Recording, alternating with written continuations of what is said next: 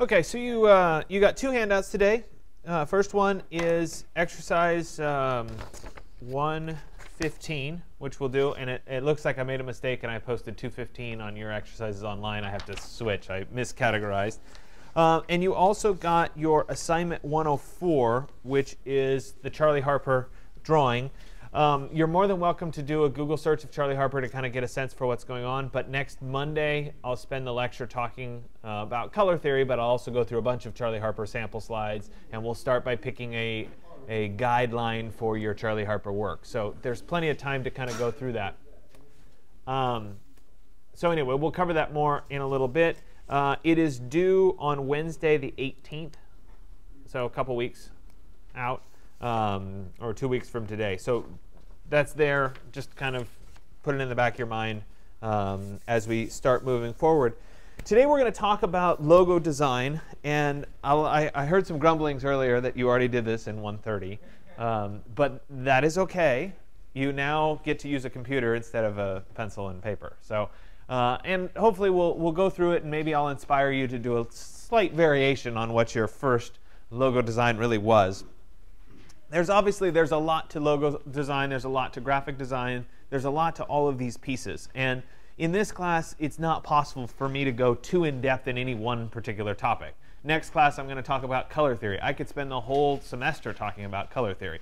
I could spend the whole semester talking about logo design. I mean, it's, it's really easy to expand any one of these topics into a much broader discussion. But we're getting an overview in this class and we're kind of breezing through a bunch of different things. This dovetails really nicely into Illustrator and some of the techniques that I'll show you in Illustrator today, which is part of why we're doing it. An effective logo is fundamentally a distinctive one. It's recognizable. We talk a lot about brand recognition. You recognize a brand via the logo. And I'll show you a bunch of examples today as we go through, and you'll start to get a sense for what I'm talking about. It should be appropriate. No surprise there. It should be practical. It should be graphic in form. Generally, the graphic is what grabs your eye anyway. Uh, it should be generally fairly simple. The more complicated they are, the harder they are to reproduce, the harder they are to be recognizable. Starbucks is a little bit of an exception. We'll show you that one in a little bit. Uh, and it should convey some kind of intended me message, which might just be brand recognition of the particular brand. So I'll throw up here six logos that you guys see every day, or most every day and they're all pretty darn recognizable. Okay? Shell gas, Shell coming from oil deposits. Uh, there's the translation. The VW logo, Volkswagen, VW, it shows up in there. NBC, I have no idea what the peacock comes from, but it's traditional NBC. It's always been the peacock. So the peacock shows up. ABC is just a pure text-based logo. I mean, this is about as simple as it gets. Uh, Chanel, the Rolling Stones, etc. All iconic graphic symbols that you see every day, and you recognize those particular brands. Simplicity, easy recognition of the logo. Is it easy to see? Is it easy to spot? Do I know what it is? Question. Nothing.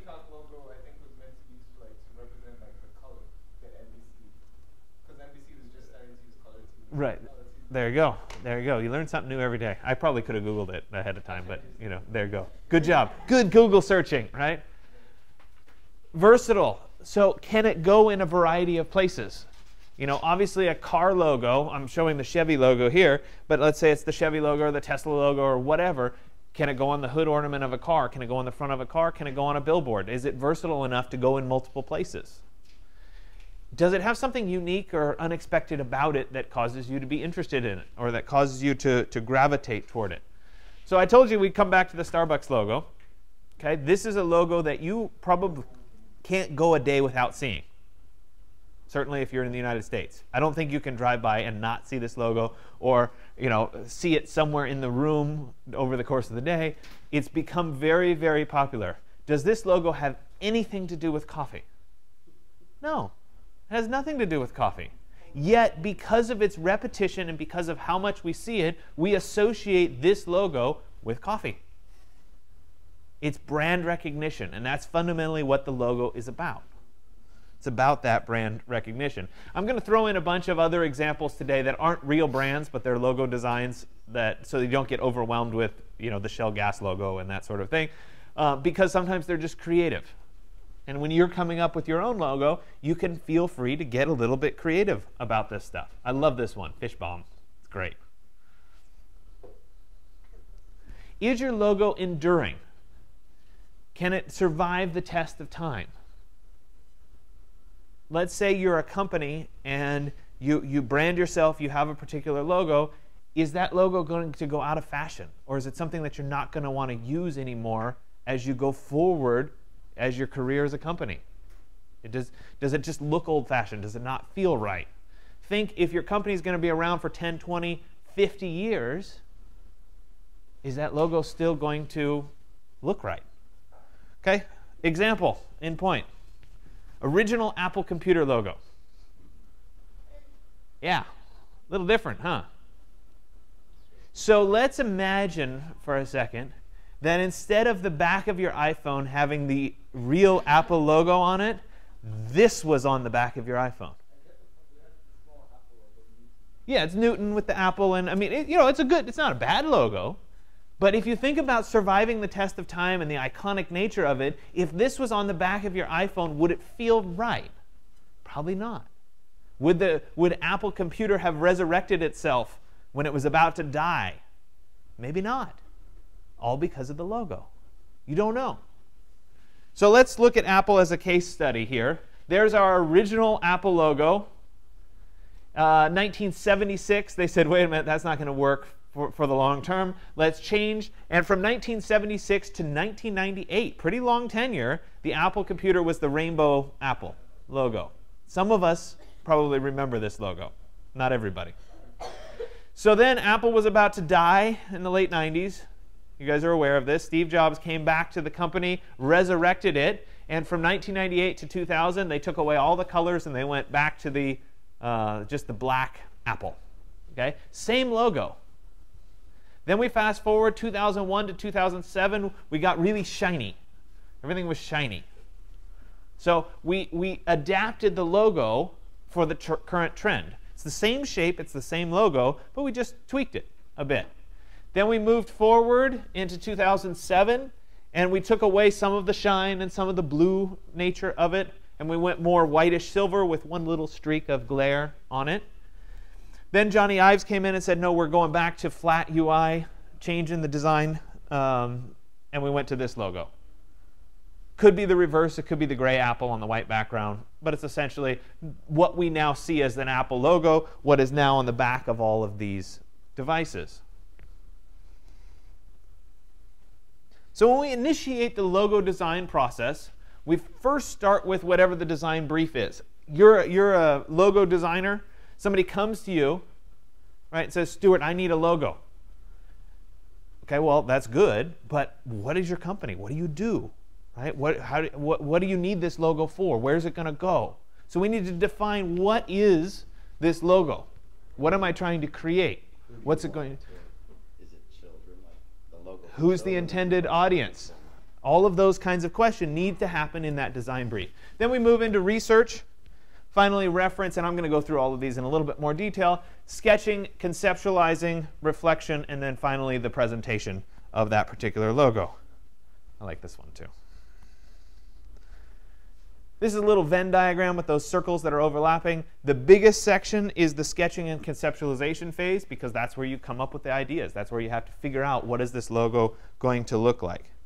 So we go back to the design brief, and I jumped ahead a little bit because we started talking about it. You need to question that client about what's the intended purpose, who's the audience, what am I doing this design for in the first place. In the case of today, exercise uh, 115, I'm asking you to design a logo for yourself. So guess what? You're questioning yourself. What do I want this logo for? Because it's, it's you. Okay?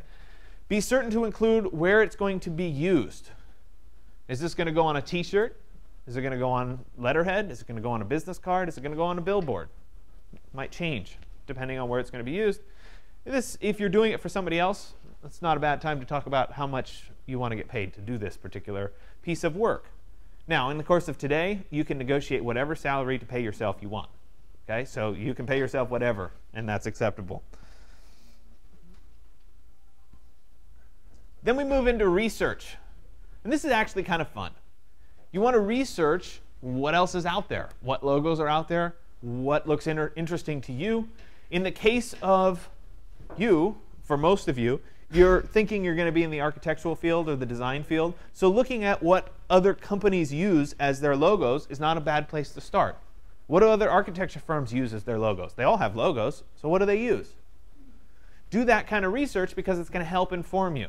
For, for my industrial designers out there, same thing. You look at industrial design firms, though, instead of architecture firms. What's in the industry? What, what's normal to be used? Do you have a history of previous logos? If you took 130, you did a logo. Do you like that logo, or is it time to jump ship like the original Apple logo? Do you want to do a modification or, or an adaptation of that logo, or do you want to move forward? What are your competitors using? So what have people done in the past? Did, were you in 130 and you saw somebody else's logo and you said, I really like that? Maybe that helps inform you a little bit. Maybe it's the other way around. You saw somebody else's logo and you didn't like it. Oh, I definitely don't want to go that direction. Depends. Then we want to get into reference. Look at successful logo designs. What makes a successful logo design? We talked a little bit about it already, but what, what brands somebody? What, what is iconic? What, what works long term? What makes them successful? You can do a Google search for logos, and there's hundreds of hundreds of them. What current styles are being used? Is it a flat UI? Is it glossy? Is it shiny? What's trendy right now? And I'm going to show you a bunch of the design trends and logos at the end of the lecture so you can see what's trendy right now. Remember, of course, that will your logo survive the test of time if it's too trendy today? So you have to think about that going forward. Then we move into sketching and conceptualizing. This should be the fun part. This is where you try stuff out. And when you're thinking about logo design, doing lots and lots of repetition, lots of lots of different things is not a bad place to start. It's easy to do. You've got a computer, you've got layers, just just go for it. And start to see what what fits, what looks right. Trust your intuition. This is good. Remember to fall back on your research and reference steps. So you go back and revisit those steps. How's my logo work compared to that reference and research that I've done before? Yeah, I think I'm evolving it into the right design decision. You produce lots and lots of ideas, and then, right, here we go through the, the process, design process. Maybe you start with a photograph. There's the initial idea. You do a little sketching over. Okay, well, we're evolving it into a logo but it's not that easy, easily reproducible. So maybe we start to see some general shapes in a logo. We start to identify those shapes and clarify it a bit more. We maybe we take it into Illustrator, do it a little bit more clean lines, vector graphics. And we end up in the final logo. So you see the process from that initial photograph all the way through into a final logo. And then let's look at, oh, we're adding a little bit more here. Then we start to see it as its final logo. And then here it is in all its forms. Business card, letterhead. How does it fit? How does it look? We're envisioning this across a spectrum of things. Maybe it goes on the logo on a t-shirt or something like that. Logos end up finding their way on these types of items. Another example here. Sketching, conceptualizing not happening in the computer, but instead happening on a piece of paper. Nothing wrong with a piece of paper and a pencil, right? I was actually I was at a building inspection yesterday for for a project that I'm working on, and we were all sitting in the back of a, or you know standing at the back of a truck with tailgate down. We had the plans out. We were talking about it was grading and drainage stuff, and uh, the inspector was like, "Oh, you know, a couple notes about when you get this this particular thing or when you call for the next inspection." He's like, "Do you have a pencil?" And we all look around at each other. Nope. Nobody has a pen, right? All we had were our phones. So we're writing on notes on our phones and stuff. It was just kind of interesting because that has a tendency to happen. I'm telling that story because there's nothing wrong with a pen and paper. It would have been a good idea for me to have a notebook with me, but of course I didn't, right? So think about that as a way of starting. Sometimes just sketching is a good place to start.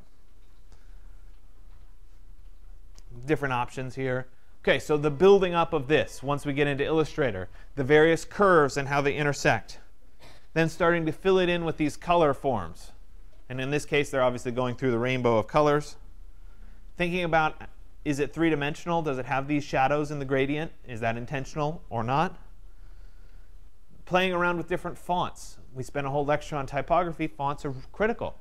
especially if there's going to be any type in your logo, what feels right. These all look the same on the surface, but which one is the right pick? They're subtly different, and you have to decide. Committing to that decision, and then seeing the whole logo come together. It's also not a bad idea, though, to think about it projected on a black backdrop, projected on a gray backdrop. What about if your logo needs to be in black and white or grayscale? Because you can't afford to put color logos on everything. You need something grayscale. How does this change? And I think this is a really good adaptation into grayscale with just the little white lines along the edge that separates the fronts and the back sides of this swirling form. It's not a bad strategy. So think about what, what, what does it look like in black and white or in gray. Then you move on to reflection. Step away from your work and revisit it, gain perspective. Ask your neighbors or colleagues for, your, for their opinion. And I actually think built into the handout today, I have to double check this, but I think I put it in there. Yep. Under part three, toward the bottom, it says specifically in your handout, that's how important this is. Ask your neighbor, the person sitting next to you, for feedback on your logo. So you can't be quiet today. You can't just like sit there and pretend that you don't know the people around you. Seek somebody out in the class, somebody that sits next to you, and say, What do you think of this? Is it working? Is it not working? How could I improve this? Okay? Design dialogue is always critical. You need to do this to become a better designer. You have to be aware of these kinds of things, and you also have to be able to articulate why somebody's design is better than somebody else's. So it's, it's important to, to, to be able to articulate that. So I'm forcing you to do it today under part three. You have to do it. You get that feedback. You let your ideas mature. You make some tweaks. Maybe you ask for some feedback a second time, maybe a third time to get better results. I love this one. It's a great one. Grab it. It's got a rabbit in it, too. It's one of those double, the negative space becomes the positive space, depending on which way you look at it. Those kinds of logos are fun. Then you get to the presentation phase. You have to distill those ideas down to whatever the best idea is, and then you need to show that idea to your client. In the case of today, you're showing it to yourself, so it's not that big of a deal. But if you designed it for somebody, there comes a point where you have to present that idea. And you have to tell people why you did this particular idea, and this is why this is the best move for your particular logo. So here I've got the Mall of America as, as a little example here. And I think this is pretty good. We have the standard logo. We have a, few variants on the same theme of the logo. Then we have color changes that can happen depending on the time of year.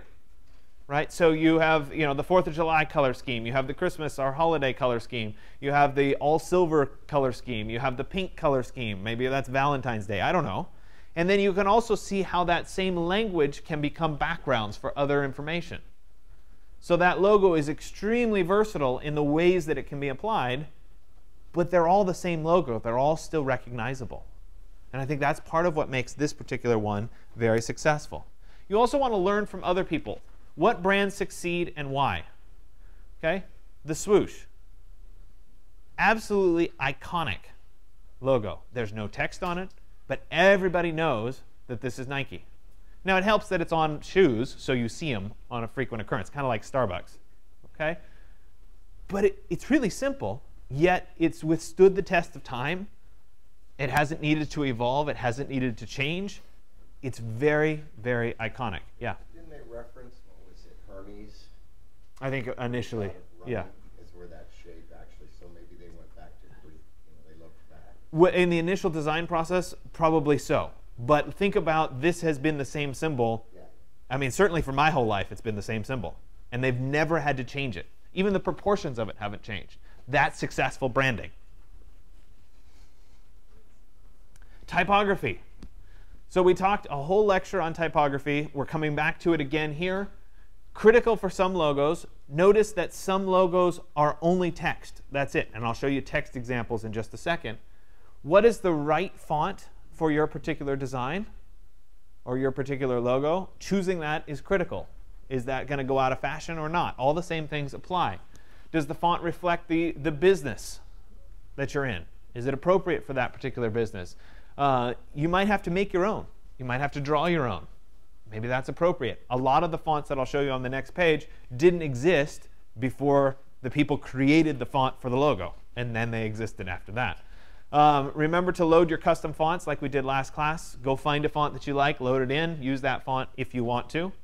Uh, the little details matter the kerning, the tracking, the spacing, the justification, all those things that we talked about in typography all do matter. Text based logos, here we go FedEx, IBM, Coca Cola, CNN, Disney, and NASA. None of these were pre existing fonts. Right? The, the graphic designer didn't say, oh, I'm doing the, the, the design for CNN. Let me pull up the CNN font. CNN, all right, my logo's done. They drew that, and they came up with that as a, as a, as a concept. Disney, same thing.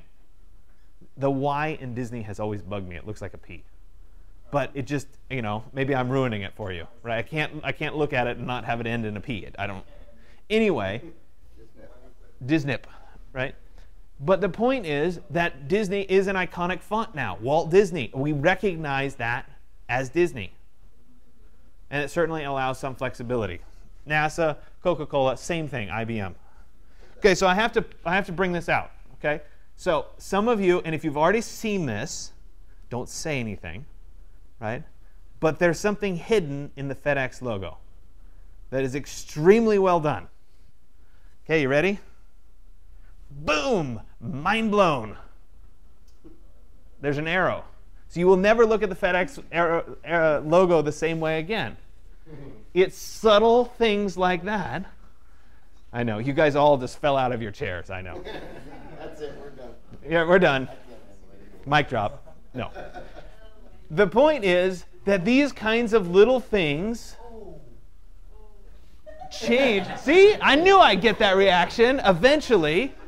These kinds of things change what makes a good logo, right? It's something subtle, it's something unexpected that's in there. FedEx is about moving things from one place to another. You hide the arrow in there, it's in plain sight. Really cool. Very, very well done and it also means that that logo is going to last. Some of these other ones, Dynamic Dust. Okay, somebody comes up with the name of a company, Dynamic Dust. How on earth do you make a logo for dust? Right? Sometimes it's one of those design challenges, kind of fun. Anyway, that's a made up company as far as I know. I really like this. It's a very clean, you know, this would be like a typeface designer or something. It feels, it feels clean, it feels really well done, the font choice is really well done, and it's subtle. You want to make sure that you avoid cliches. Okay? You can't go into Word and pick clip art and use that as your logo. Okay? It's the number one sign that you're not a professional at whatever you do because you went and grabbed the clip art. It happens all the time for businesses. Don't do it. No cliches, no light bulbs for ideas, no globes for international, right? Those have all been done. If you copy somebody else's logo, it's someone else's logo. And so your brand isn't associated with that logo. You throw a globe up there, everybody has globes up there. It just doesn't work. So you have to think about what makes you unique and different. Right? If I did if I did a logo, oh this is going to be my logo and it was, you know, something that looked kind of close to the Nike swoosh. Well, guess what? Everybody would look at it and say, "Well, that looks kind of close to the Nike swoosh." Same thing right? If I did a logo that was in the Coca-Cola font, it said Grant Adams, everybody would say, well, that's the Coca-Cola font. It doesn't work. So it has to be about you, and it has to be unique. When we get to actually output files, today we're going to be creating a 1500 pixel by 1500 pixel logo. That's kind of a good base. Remember what I talked about last class, though, raster versus vector graphics. We're creating a vector graphic, therefore, it can scale up or it can scale down, which is great. So we're creating this 1500 by 1500 pixel at 300 dpi for print. These other ones would be for other output formats. If we were going to the web, if we were doing a, a favicon, if we were, you know, whatever, other uses, PNGs, transparent backgrounds, etc. Always save the AI file from Illustrator. That's the original Illustrator file because then you can go back and scale it up or scale it down depending on how big you need it to be. Think about black and white, grayscale, color. How's your logo changed in those various formats. I'm only asking today for the color version. So I'm not going to ask you for the other formats, but it's worth thinking about because sometimes you want to have a black and white or a grayscale version.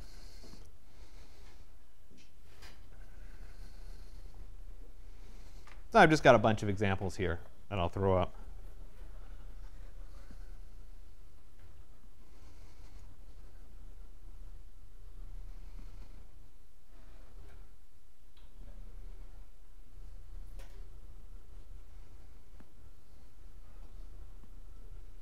Here's another example from, from sketching phase through the development. Uh, we'll do this little three, they must have been channeling like eBay or something. This must have been the 90s. This, this kind of looks like 90s, actually. You know, I don't know. That's first edition. No, we need to, to modify it a little bit, thin out the fonts. This feels a little bit better. But what about if we replace one of the letters with the jigsaw puzzle, something like that? And then what does the business card look like long term? Okay, so let's look at design trends for this year. I like to throw up some design trends so that you can see what's happening in various. We have the, the ombre or the, the gradients transitions, similar color working through those transitions, but all in the same color scheme. Circles are also very popular right now. Interlocking circles, circles that overlap, that sort of thing, very popular the half and half. So we, we divide down the center. One side's a little bit darker than the other side. The links are the interconnected.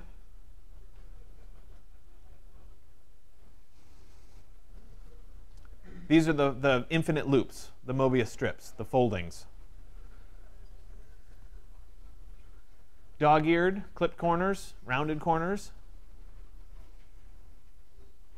the corner itself, square with a diagonal. Dotted lines are apparently very popular. Off shift. I think this works great for the MoMA, SF MoMA. It's really clear, it's easy to read. When we get down in some of the other ones, like Futurist or IT Formation, I, I can't even read that one because it's too hard to figure out where the breaks and the shifts are. So SF MoMA, pretty clear, right? There's only three blocks. Like I can see that really e easily. The sharing economy, that works pretty well with the N being shared between the two. Um, but you just want to make sure if you're going to do an off shift that it's readable, that you can see what's happening and it's clear what you're trying to say. All right, the little curls, the folds, the pocket shield. So this general shape with the triangle at the bottom. I'm going to show you how to make these today. Slices, lots of, lots of parallel slices as part of it. And the letter block. It's kind of like the pocket shield, only it's a square.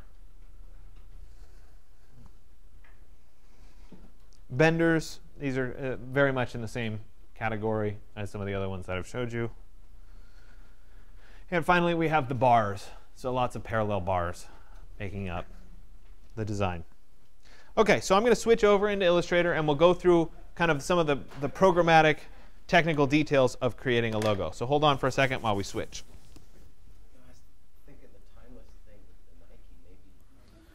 Okay, so we've switched over. I'm opening up Illustrator, maybe. And uh, I'm going to encourage you, like I said before, to create multiple versions of logos as you, as you play around with this. And I'm going to do the same as I'm going through it. Um, I don't have these pre-planned out, so they may turn out ugly. I don't know. Um, I'm doing it live just like you're going to be doing it live to, to kind of sort it out. When I go to File and then create a new Illustrator document, I want it to be 1500 pixels by 1500 pixels. That's my working area. So I'm actually typing in px.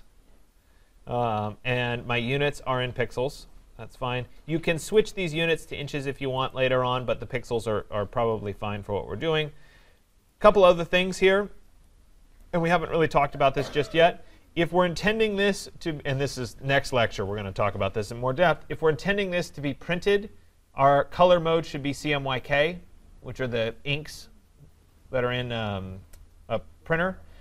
My resolution should be at 300 points per inch, and I'll go ahead and say OK. And there we go. Now I have this page to start on. Because I'm going to create multiple versions, it's worth working a little bit with our layers. For some reason, my layers window got really big. Um, I'm going to go ahead and rename layer 1 to be logo 1. And then I can create a, a layer for logo 2, layer for logo 3, etc. as I go through and evolve this logo. Sometimes the evolution isn't drastically different. So I might have one version and I want to make a subtle tweak. I'll copy it onto the next layer and then continue on with it, make a subtle tweak, but I can go back and, and, and work with the particular uh, logo. If I didn't like it, oh, that, that change didn't really work for me, I can go from there. OK, so as I start to create these things, we're going to use a couple tools that we haven't used before, one of which is called the Pathfinder tools. And I can see those by going to Window and then showing Pathfinder. I want to make sure that, oops, that that is up here, floating there. And I'll talk through what these do in just a second. So first off, let me create a square. So I'll go to my rectangle tools. I don't want there to be a stroke, so no outline, but I do want there to be a fill color. And our, um, our fill color, I'm going to pick arbitrary color. I'm going to pick orange because it'll be nice and visible on the screen. But you can choose any color you want. Next class is all about color theory, so you can change your colors at that point. Um, but I'll go ahead and say OK. And then I can create a square um, by dragging and holding down Shift. Or I could also just single click and it brings up a rectangle dialog box that says, oh, I want this to be 1,000 pixels by 1,000 pixels for example. So I can hold down Shift to stay in proportion, or I can do 1,000 by 1,000. Now, also, just because I'm doing a square doesn't mean you have to do a square. I'm just using this as an example. Okay, You guys are going to be creating whatever you want for you. So I have that little square like that. Now let's say that I want to take a piece out of this particular square. Let's say I want to clip the edge, for example. Let me come in and I'm going to do an ellipse or a circle. And for clarity purposes, I'm going to change the color. And I'll draw a circle, something like that. Oops. And of course, it changed the color of this one too. Let's change that back to orange.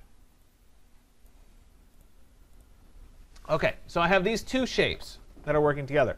What the Pathfinder tools allow you to do is it allows you to do um, operations between two objects. So for example, the first one here is a unite. So if I were to take both of these objects and press the unite button in Pathfinder, it would make one object out of the two. So I no longer have this half of the circle. It's now said this whole thing is one big object. Let me back up here. The next option is minus front. So it's going to subtract the object that is in front. My circle is in front. My square is in the back. So if I do minus front, I'll get that cut out of the corner of that particular object. Next one here is give me the intersection of the two objects. So if I click that, it's going to give me just the piece where the two objects intersect. Last object here is get rid of the intersection. So there we go. And it's now created that as a logo. So these Pathfinder tools are really easy ways of assembling shapes together. It's under Window, Pathfinder. Okay. There are also, those are the shape modes. There are also other shape modes here that cut the shape up into multiple pieces. So in this example here, I have both of these selected. If I cut use this one, which is divide, it's going to give me three separate pieces. Uh, and I'd have to double click to get inside of the grouped object, but then I can control each of these pieces separately from the others. So it's essentially a way of slicing things up. Uh, this next option here is trim, and I forget what trim does. Ah, yes. So it gives me, it cuts this out and leaves the object that's on top. There we go. Next object, next here is merge. I don't know what merge. Yeah, crop, outline, and minus the back. So you're, you're more than welcome to play around with these other options. they're, they become less and less common. The most common ones are the shape modes on the top, and then we become less and less common as we go through. You guys can play around with what these, these options do and, and how to work. But I can take this a step further. So let's, let's continue to work with my square here for just a second. Let me go in to my font, or my, my type here, and let me go ahead and type my initials. So we'll say GA. Let me make those bigger. Uh, we're going to have to do maybe, oh, let's try a little bit bigger still. Now remember, I should also pay attention to the font choice itself. So I don't want, you know, do I want it to be Old English, for example? Probably not. Uh, but the point is, you can play around with what, what's the right font, what's the right look. Once you have the one that looks right to you, right, I can come down here. I'm going to have those overlap just a little bit like that. And then I'm going to go to Type, Create Outlines. I did that in Illustrator, same thing. And then I could take these two objects and I could subtract the object that's in front and end up with just that as part of a logo. So you can see how I can start to, to create these various pieces. So maybe that's my first logo. Yeah, it's OK. Let me move on for a second. I'll create a new layer. We'll call this logo 2. There we go. Now on logo 2, I want the same square. So I'll come back here to the rectangle tool, 1,000 by 1,000. There's my same square to work with. But this time I want it to have the, the shield, uh, the, the triangle that goes down at the bottom here. So I have a couple different options. You guys have worked extensively with the pen tool. I could come into the pen tool. I could add an anchor point right at the center here. I could then use the direct select tool to select just that anchor point, and I could pull that down to create that shape if I wanted to. I could also take a, a rectangle here, and then I could rotate that rectangle using the free transform and make it overlap.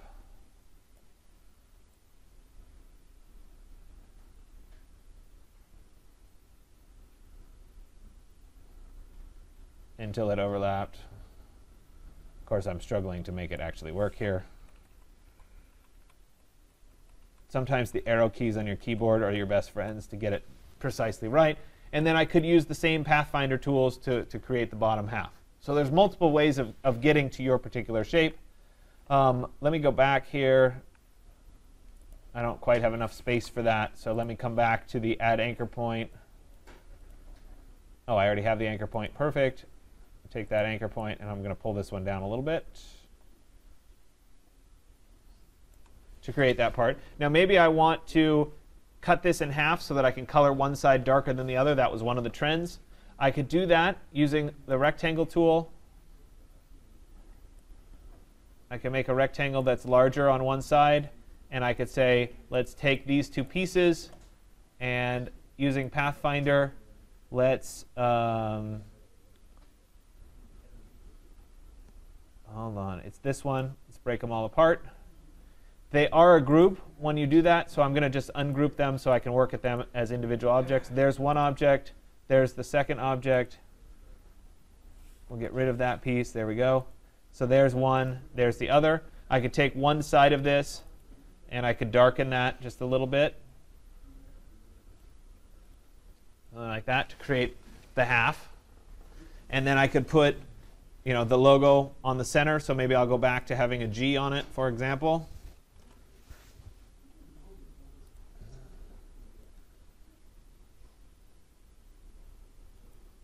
And maybe it needs to be a little bit bigger. Let's go to maybe 800 or 900.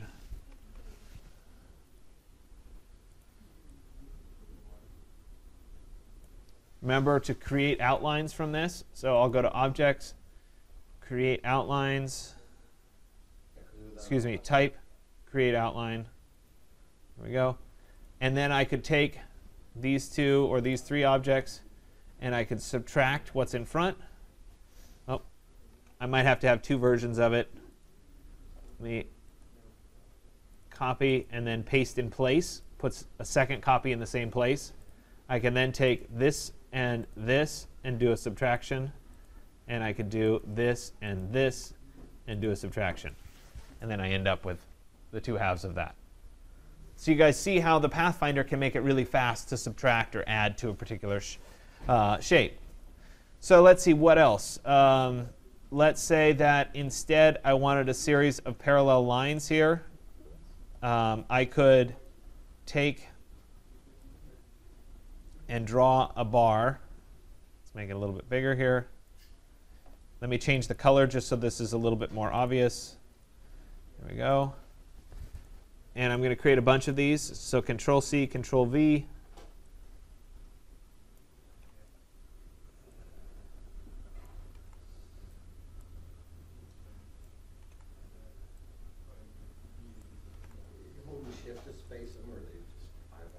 Uh, it's it's yeah, it's see that green line. It's trying to give me a, an approximation. I'm not overly worried about the spacing just yet. I'm just trying to get all of them in here, and I'll show you how I'll solve the spacing in just a second.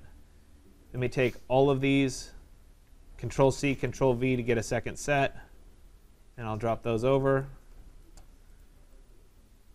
Make those two go away.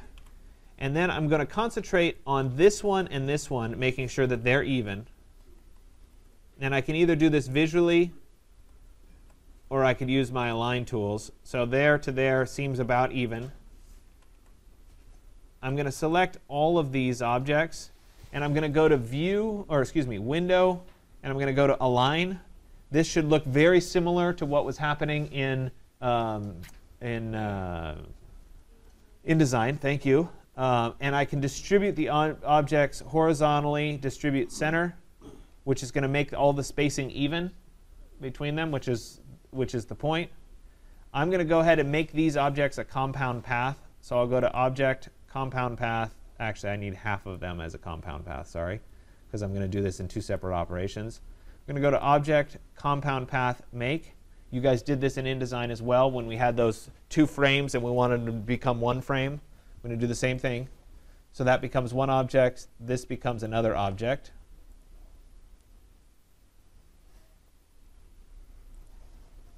So if I click on them, they're selecting all of them. Then I could take this and this and do the same subtract. So let me go back to Pathfinder and we'll subtract. Oops. Let me see here. I might have to do this as a, let's see if trim will work. I think trim works. Take these. No. See, I told you when you when you do these live, sometimes they don't work exactly as you want. Give me just a second and see. Yeah, so I did do it. I just have to go into my group and then get rid of them. So the trim did make it. I just had to double double click to get inside of my group to then modify those particular stripes. You had a question.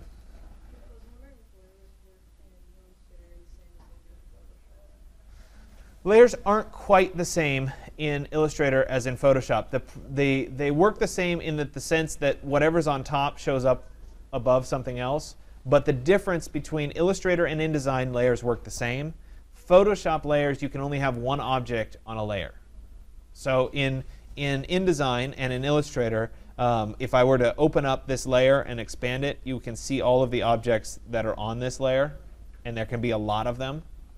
Um, and so that's, that's a fundamental difference between the two. So I have this with the stripes. Let me come back.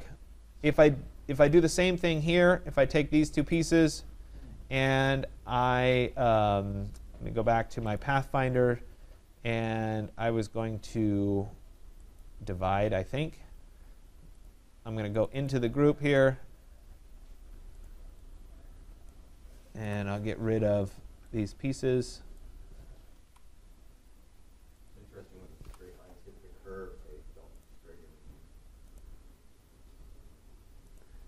Well, because I picked divide, it's making it more challenging for me to select these, but you guys get the idea, certainly.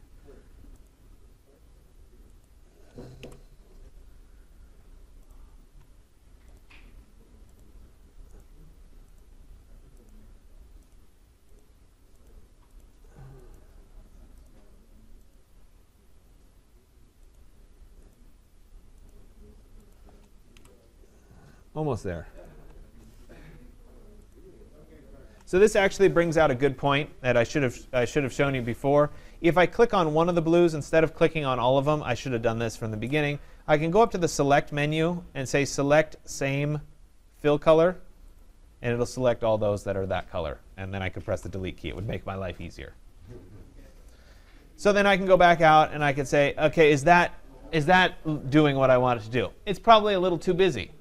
So I would ask one of my neighbors, hey, what do you think of this? And they might say, nah, it's not quite right. The point is, though, that you're evolving and you're changing. Now, maybe the next version would have a gradient where each of these colors would change as it went across. I don't know. You have to play around with it.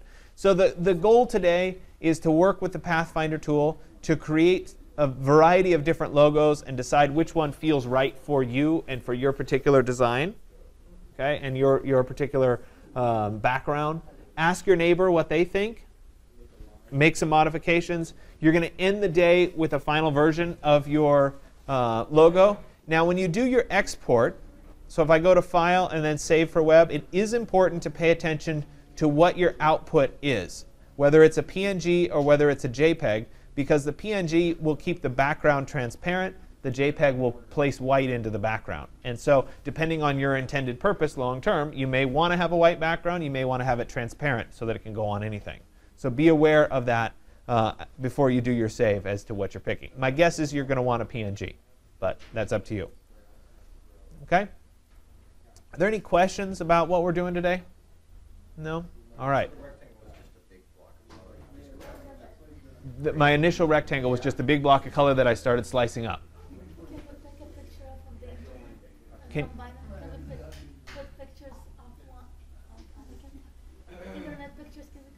yeah, logos really don't tend to have pictures in them. They're more graphic. They're more iconic than anything else. You could you could find pictures that are kind of a basis for what you want, and then trace over them or make shapes from them and evolve them into a logo. There's nothing wrong with that. But it shouldn't really have an actual logo in it, or it shouldn't really have an actual picture in it. Okay.